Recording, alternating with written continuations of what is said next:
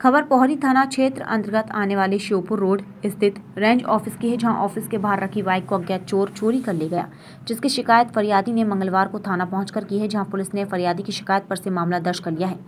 घटनाक्रम की जानकारी के अनुसार फरियादी मुलायम सिंह पुत्र पूरन सिंह 27 साल निवासी अमाई ने थाना पहुंचकर बताया कि वे रेंज ऑफ़िस पर कार्य करने गया हुआ था, जहाँ ऑफ़िस के बाहर बाइक रखकर कार्य करने चला गया। ऑफ़िस बाहर देखकर वापस आकर देखा तो बाइक नहीं दिखी। हर संभव प्रयास कर सुराग लगाया गया, लेकिन कोई सुराग नहीं लग सका। पुलिस ने फरियादी की शिकायत पर से अज्ञात के खिलाफ चोरी का मामला दर्ज कर लिया है।